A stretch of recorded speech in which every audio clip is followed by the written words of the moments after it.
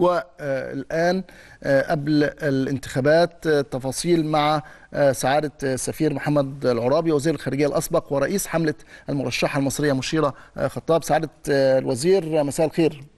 أهلا أهلا يا أستاذ عمرو مساء النور. أهلا بحضرتك يا فندم. الأجواء عاملة إيه عندك؟ آه، محتدمة. طبعا آه. يعني طبعا آه، خلاص فاضل آه، يعني يوم يعني بكرة مش هيكون في شغل لكن بعد بكرة بقى يوم الاثنين. الساعة 5 هتبدأ الانتخابات بعد الجلسة الأولى للمجلس التنفيذي اللي هيرأس فيها الوفد المصري وزير التعليم العالي آه، دكتور خالد عبد الغفار.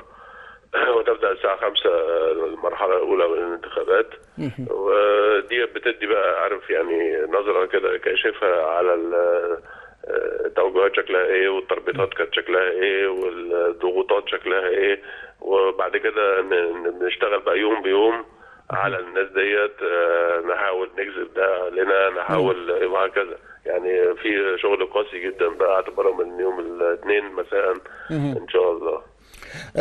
يعني من حوالي أسبوعين وأثناء رجوعنا من نيويورك بعد اجتماعات الجمعية العامة للأمم المتحدة تصادف إني قابلت آه، معالي السفيرة آه، مشيرة خطاب آه، كانت معانا على الطيارة وسألتها آه، عن الأجواء يعني ساعتها كانت بتقول وبتتكلم عن آه، إنه آه، لأ يعني في دول معينة بتضغط آه، بشكل آه، يعني كبير مش هقول آه، يعني طبعاً. آه، يعني أشارت إلى طبعاً. أي دولة ولكن يعني آه، في في ضغوط جامدة جدا وكأنه السيناريو بتاع الوزير فاروق حسني بي- بيتكرر دلوقتي مع الوزير.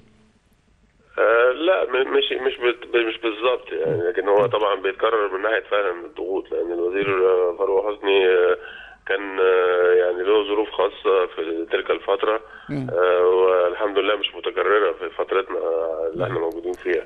بس النهارده بس بس اوفر حظا إنه كمان عنده دعم عربي غير الدعم الإفريقي. إحنا ما عندناش دعم, دعم عربي كامل. وعلشان كده النهارده يمكن آه، ال- الوزير آه، سامح شكري كان أطلق تصريحات آه، يعني شديدة اللهجة تجاه قطر وقال لهم يعني آه، مش كل حاجة يتم شرائها اليونسكو لا يعني لا يجوز شرائها ولن يتم شرائها زي ما اشترته الفيفا. من عشان كده بقول لحضرتك الأجواء محتدمة لأنه طبعا مع اقتراب ال- الانتخابات آه، لازم في آه، يعني إنه نقط تتحط فوق الحروف آه، بحيث إنه فعلا هذه المنظمه هي منظمة هامة جدا بالنسبة آه، للإنسانية كلها ولكن للأسف بيتم التعامل معاها من منطلق آه، مختلف تماما سواء لإرضاء أحد إن هو يتولى منصب أو إن دولة آه، تحاول إن هي تتواجد بس لمجرد الواجهة السياسية والاجتماعية. بقوتها المالية.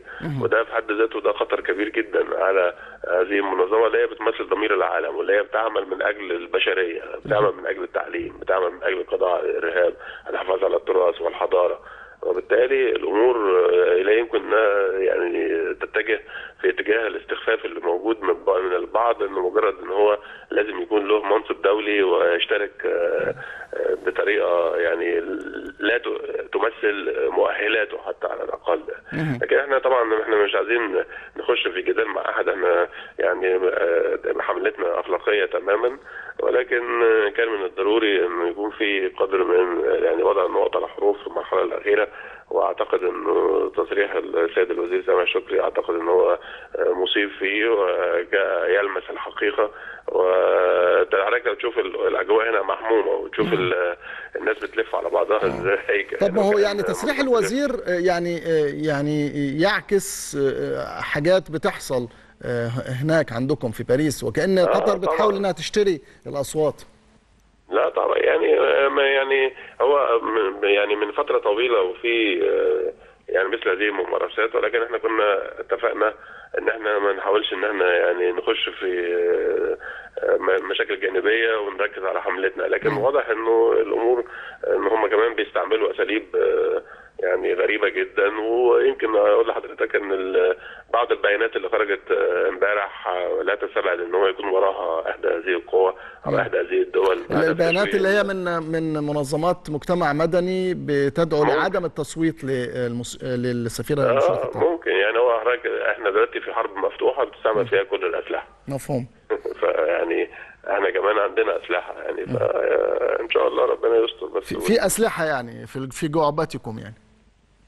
لا طبعا لا الوزير شكري وزير صلب آه، آه، يعني أنا أعرفه من سنين يعني ووجوده كان مهم جدا على الأقل دعم أو عارف إيه أدى إلى تماسك الموقف الأفريقي لأن الموقف الأفريقي كان ممكن يفلت منك برضه نتيجة الضغوط. نعم. لكن هو وجوده والسيد موسى فقيه من المؤكد إن هو آه، جعل الموقف الأفريقي أكثر تماسكا نعم. وده المطلوب في الأيام الأولى في الانتخابات إن إحنا نحافظ على 17 صوت الأفريقي اللي إحنا نعم. إن شاء الله نسعى إليهم أنا بشكرك شكرا جزيلا وكل التوفيق لحضرتك وللحملة وللسفيرة آه، مشيرة خطاب آه، سفير محمد العرابي وزير الخارجية الأسبق رئيس حملة المرشحة المصرية مشيرة خطاب لليونسكو من باريس شكرا جزيلا